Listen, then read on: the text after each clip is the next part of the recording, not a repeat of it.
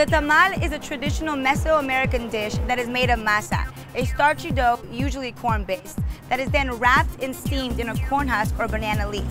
The tamal can be filled with anything you desire, from meats, cheeses, veggies, fruits, and even chilies. Tamal is derived from the word tamali, from the Nahuatl language spoken by the Aztecs. The word means wrapped food. They originated in Mesoamerica as early as 8000 to 5000 BC, where the Aztecs and Mayan civilization tamales as portable food, often to support their armies, but also for hunters and travelers.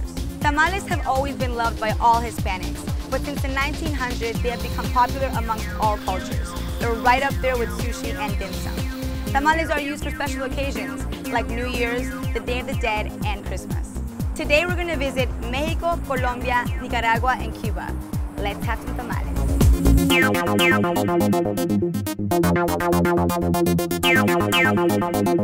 Mexico, tamales begin with a dough made from corn called masa. They are then wrapped in corn husks or banana leaves before cooking, depending on the region they're from. They are then steamed until firm, and they're filled with a savory or sweet filling. Few countries have such an extensive variety of tamales as Mexico, where they're considered one of the most beloved traditional foods in the country. Almost every state and region in Mexico has its own kind of tamal. It is said that there are between 500 to 1,000 different types of tamales all over the country. The annual consumption of tamales experts estimate hundreds of millions a year. Tamales became one of the representatives of Mexican culinary tradition in Europe, being one of the first samples of culture the Spanish conquistadores brought back to Spain as proof of civilization. Now tamales are used on special occasions, like Christmas Day, the Day of the Dead, and Mexican Independence Day. Today we're at Magali's to try some authentic Mexican tamales.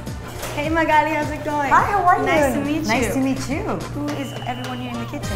Well, today we've got Dorina and we have Lorena. Okay, well, I am so excited to be here. Nice to meet you guys. We want to know, or I want to know, the process of how to make a tamal. Well, Okay. let me tell you. First, we start by making our masa. Our masa consists of corn, uh, lime, and water. We bring that to a boil. We put it through the grinder. We grind it, and that gives us our mix, which is our masa. And to this masa, of course, we add different ingredients, and that's what makes our masa and sets our masa apart What's, for what, many what is it that's different from other? Well, first of all, we don't use lard. We don't use That's lard in our tamales, yeah. So we try to always go with um, a healthier alternative. We know that a lot of people are um, Vegan. vegan and they're allergic to a lot of things, so we don't use lard in our masa. Second of all, our corn that we purchase is uh, non-GMO corn. So that is another big thing because we know a lot of people um, are looking always for a healthy alternative. That's amazing. So, um, and then into our masa, we put a few of our secret ingredients. And, um, but we use, there's, uh, there's actually no flour in it either, so they're gluten free. Oh my so gosh. anybody ca- that has an allergy I was gonna problem- ask if, they're vegan tamales, but Well, they're gluten free. Now, of course, the vegan tamales, we do make a vegan tamal, which is our vegetable um, tamal. And then we make our vegetarian options, which is our chili and cheese. Yum. And the pineapple one is also considered a um, vegetarian option because there is no lard, there is no animal product, and there is no dairy in it as Wow. well. So, um, and so yeah, so we make different types of tamales here. So why does it take so long to make the masa? Well, it it's a very labor-intensive um, process at tamales. It's not just a matter of you know you just get something and you put it together. I mean, it starts with cooking the corn, then we have to grind it, then we've got to make our actual masa, and then prior to that, you've got to remember we have to cook all of our meats. So we make um, eight different flavors. We make chicken, pork, beef, cheese, Wow. sweet corn, pineapple, vegetable, and a ground beef and jalapeno. And what's the most popular one? The most popular would be a chicken. The chicken. So this one right here. Chicken right here is one of the most popular, and our sweet corn. And what do you guys That's have in the chicken? Is it just shredded beef? It's shredded chicken with uh, green tomatillo sauce. And is oh, so this is the secret sauce. That's the secret sauce right there. And so have you always been eating tamales your whole life? Yeah, we grew up eating tamales during Christmas, during special occasions. That was one of the most And this is things. Magali's is your restaurant. You Yes. decided to make tamales. Yes. So, so you love tamales. I love tamales. My kids love tamales. So Everybody loves tamales. Everybody loves tamales.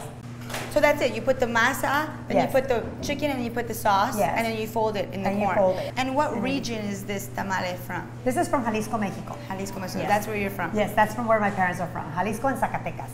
And do you guys have this on a daily basis or just special occasions? No, we do tamales. uh, For do we eat them? You mean, or do we uh, make them?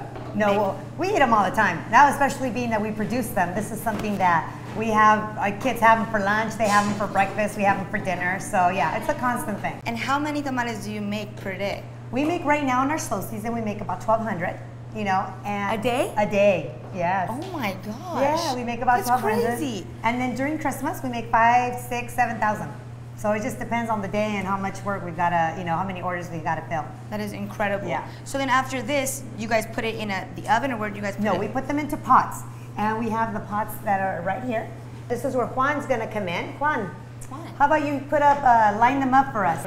It's very important when we're lining the tamales up. They've got to all stand up, and they've got to be nicely, nice and tight. If you don't put them in nicely, nice and tight, the tamales, as they're cooking, because they start to expand, they will actually fall apart or they'll Mm-hmm. Oh, open wow. up.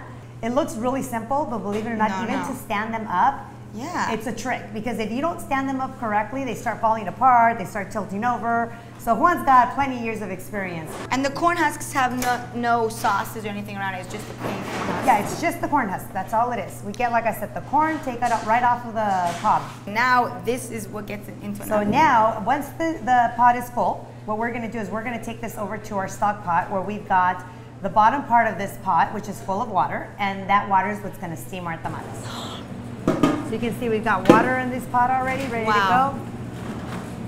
Oh, so it just sits on top. We just water. sit it right on top, and then what we're gonna do is we're gonna put a time, the time that we actually set this pot down. So as you can see, these pots here already have, it's got the kind of tamal that is sitting inside of it, and the time that we set it on the um, Pollo stove. molido Right. And so how long does it take to steam An it? hour and a half. So then after an hour and a half, whoa, are these? These are already done and ready to go.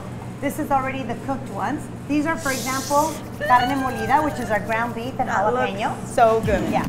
I'm so excited right now to try these tamales. I brought you one of our specialties here. Oh. This is a plate that I actually created, and I figured, you know what? People go over into um, all these different places and they have bowls. I said, well, why not have a tamale bowl? We have a chicken bowl, a carne asada bowl. I said, why not a tamale bowl? So that's one of my creations. So I hope you enjoy it. This looks incredible. Thank you so Absolutely, much. Absolutely, enjoy. I Let don't even know know what where you to think. start. Okay, and that's some, some sauce to go with it. So you put the salsa before. Yeah, and just enjoy it. Now that is mouth-watering delicious. Well, awesome. I'm Oh my God. happy that you liked it. The masa is so soft Yeah. Just melts in your mouth. And then I like the contrast with the lettuce. It's Yeah. like crunchy. It's crunchy, It's yeah. like refreshing. Yep. And so this way, it's like when you're in the mood, you know, tamales is a comfort food. Oh my gosh. So because it is a comfort food, um, you know, a lot of people like to eat it during the winter, but now you can actually eat it also during the summer with some lettuce, a bed of lettuce, some rice, some beans. You've got it all in one. You're one of the best tamales I've, I mean, maybe the best tamale I've had in my life. Well, good. I'm happy you enjoyed it. Magalis, don't forget it. You're gonna wanna try this because if not, I'm gonna eat them all.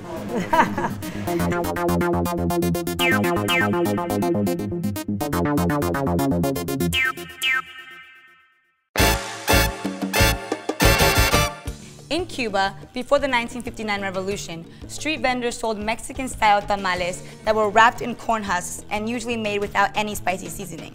The Cuban tamal is identical to those made in Mexico City. A coincidence? I don't think so, because the idea was brought over to Cuba during the intense period of musical and cultural exchange in the 1920s to 1950s. A popular Cuban song from the 1950s, Los Tamalitos de Olga, celebrates the delicious tamales sold by a street vendor in Cienfuegos. The cha-cha-cha song is still popular amongst many today. Cubans have added their own unique touch with their dish tamal en cazuela, which is tamal masa with meat stuffing mixed into the masa and cooked slowly on a pot in the stove. The result? A hearty, savory cornmeal porridge. We made it to Xiomara. Let's check out what is in a Cuban tamal. Hi, Francisco. Hello. How's it welcome. going? Not much. So, Uh, well, welcome. we are so excited to see how you make a Cuban tamal and what ingredients do you have in it. Okay, I usually use uh, fresh corn Mm-hmm. with masarepa, which is cornmeal, rock shrimp, shallots, chives, and some garlic. That's the base of the dough. Okay. Of just the dough. That's the dough. That's the dough. what? that- so it's all mixed into the dough. Yes, so it's, that's the dough. Okay. Then, so I'm making the sauce. It's a lobster cream sauce. so I love lobster. I saute some shrimp with uh, some mushrooms. So Let's I get some it. mushrooms here. Careful, I'm so sorry. Sorry. So I get some, some mushrooms.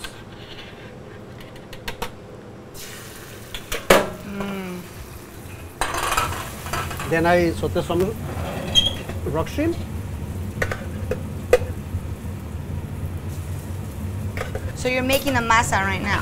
No, actually the masa is prepared Already already. done, okay. Yeah, the, the, this is just to finish the tamal. Okay, perfect.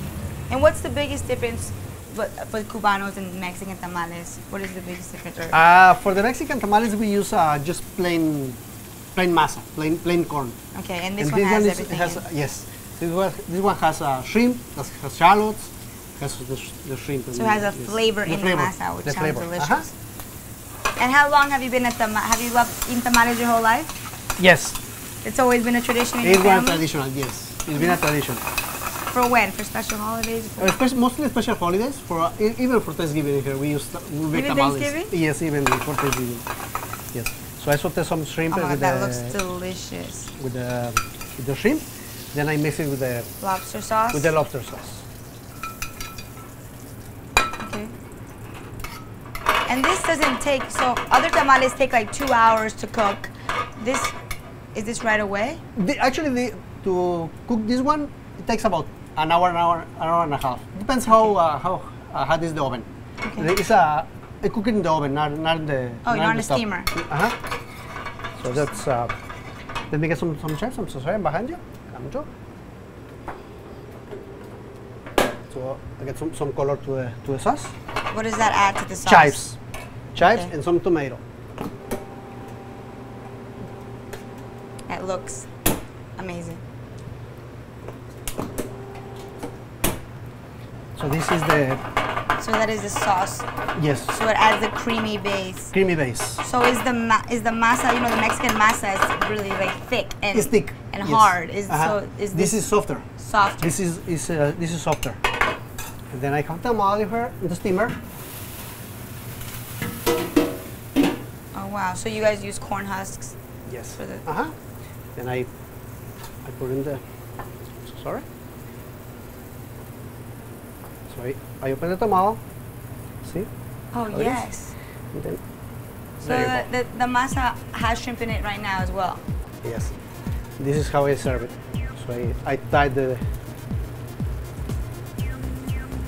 then and then I just Oh my gosh, I am. s put the sauce on top. that looks the shrimp. incredible. And then I garnish it with some fresh watercress. Fresh water. Uh-huh.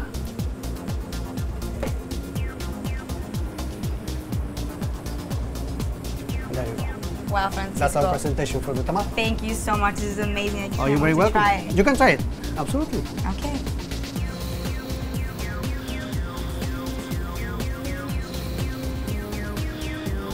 Oh my gosh.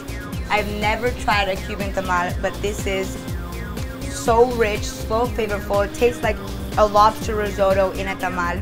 And I can't completely describe it because I've never had it, but everybody needs to come back and try this. This is amazing. Francisco, thank you so much. You're very I welcome. appreciate it, and it was so simple to make It's very simple, but, but it tastes so intricately made. So it's perfect. thank you very much. Thank you.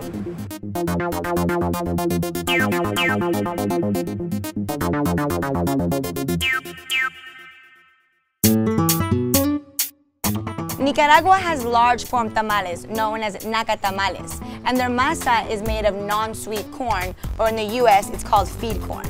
The most popular tamales are tamales de gallina, or chicken, tamales dulces, or sweet, and tamales en elote, corn on the cob.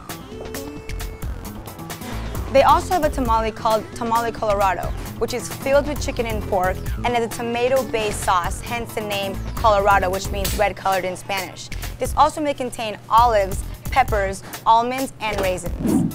We made it to La 27. Let's see what it takes to make a naca tamal.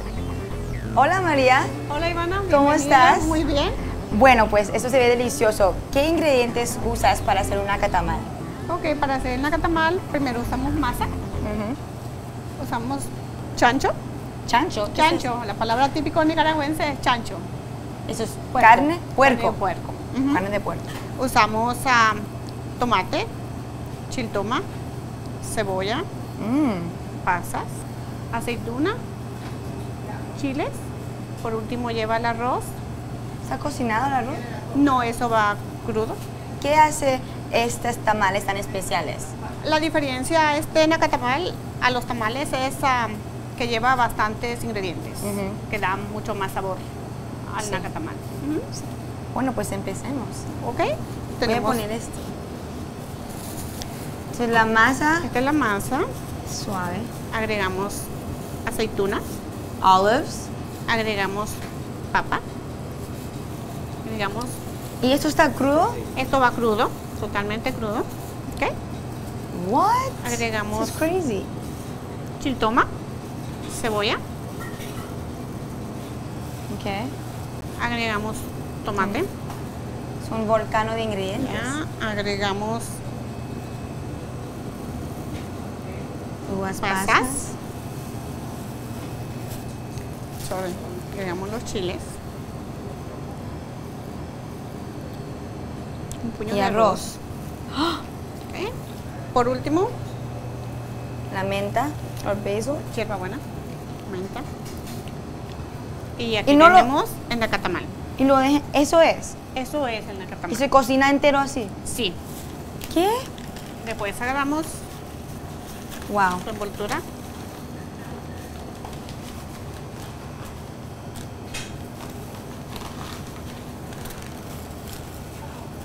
¿Y quién es tu favorito nacatamal? ¿Cuál tipo es? nicaragüense, muy rico. Tenemos un nacatamal, ¿Cuántos tamales cocinan al día acá? aproximadamente unos 200 nacatamales al día. Ok. Ujú. Este es el final, el cual se pone dos horas a cocinar y listo. Y después. Después aquí tenemos el nacatamal cocinado, ¿Y cómo se, se abre? se con- abre con unas tijeras. Oh my gosh, this looks delicious. ¿Qué haces? Se abre de esta forma en el plato. Oh, este sí es muy diferente de mexicanos. No, Totalmente diferente. no tiene salsa, pero está muy mojado ya. Wow. Sí, eh, puede probar. Bueno, here we go. I don't even know where to start. Mmm. That is delicious. The masa is so soft that it melts in your mouth and it gives you the ability to taste the meat and the onions and the peppers, which gives it a little spicy taste and it's just, just the right hint of spice. And the meat, the big chunks of meat are delicious because I love meat. Mm.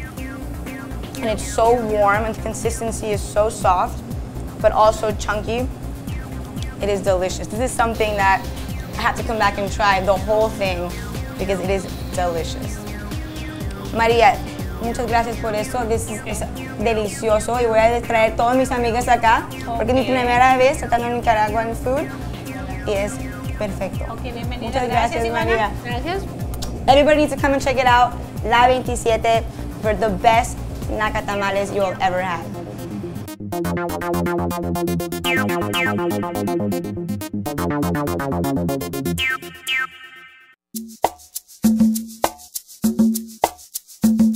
In Colombia, they're wrapped in plantain leaves. There are several types, but the most widely known are tolimenses and boyacenses.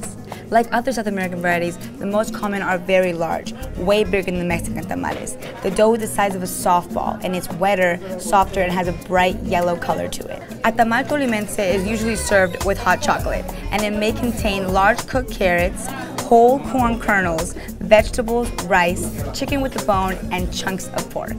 A related food is the envuelto, which is made out of yuca flour and resembles the Mexican tamal, but it has little to no filling. Today, we're at Sabor Colombiano, and I can't wait to show you how Colombia does tamales. Estoy acá con Rosario, la dueña de Sabor Colombiano, y me vas a enseñar cómo hacer un tamal colombiano, ¿sí? Claro, con mucho gusto. El tamal tolimense, a diferencia de los otros, es a base de arroz. Entonces, la base del tamal es el arroz. ¿Y por, qué tiene el arroz ese color tan El, con- amarillo? el condimento que se le coloca, Y el tolimense es el que tiene arroz, no el boyacense. exacto, eh, eh, ni, ni el del valle ni el paisa, ellos son de masa de maíz. Sí. Este es de arroz. Le colocamos costilla de cerdo. ¿Y eso ya está cocinado? Está precocido. Está precocinado. Sí. Y pollo. ¿ok? Y eso no está cocinado. Este no. Indispensable una buena salsa. ¿Y qué tiene esa salsa? Esta salsa tiene tomate, cebolla, pimentón, ajo, eh, condimentos para... Como pollo para- sudado. Sí, exactamente.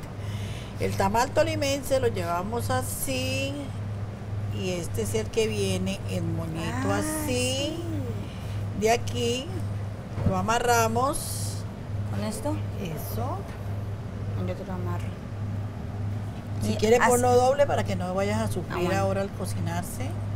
¿Y hace cuánto tiempo haces esos, es- esos tamales? Pues nosotros abrimos el restaurante hace seis, bueno, el 22 de diciembre exactamente, cumplimos seis años. Seis y, años. Y aquí hacemos tamales siempre para deleitar nuestra clientela. ¿Y quién te enseñó a hacer un tamal? Y en- bueno, en Colombia vi cómo los preparaban y entonces Y los de allá. De aquí va a la olla, lleva una cocción por tiempo de tres horas. Tres horas. En ese tiempo se, se cocina el pollo, se acaba de cocinar el puerco, la costilla y todo lo demás. Ese es el tiempo de cocción. Aquí tienen un tamal tolimense. Un tamal tolimense. ¿Y cuántos de estos haces por día? Ellos se hacen más o menos unos, eh, lo hacemos una vez a la semana. Se hacen 100 para la semana.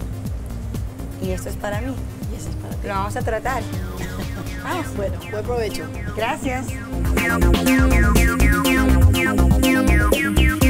The influence of the tamal has expanded beyond the Hispanic community and is loved by all cultures. So next time you have a tamal, I hope you appreciate not only the time and effort, but the history and culture behind it. My tamal has still two hours until it's ready, but I hope you enjoyed your time here and we'll see you again here in Infusión.